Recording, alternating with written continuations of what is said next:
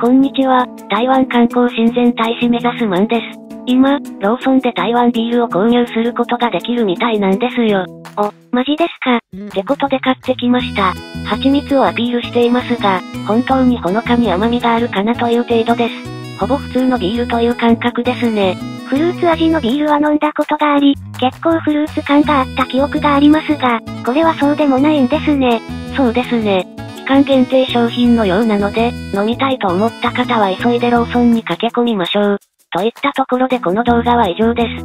ご視聴ありがとうございました。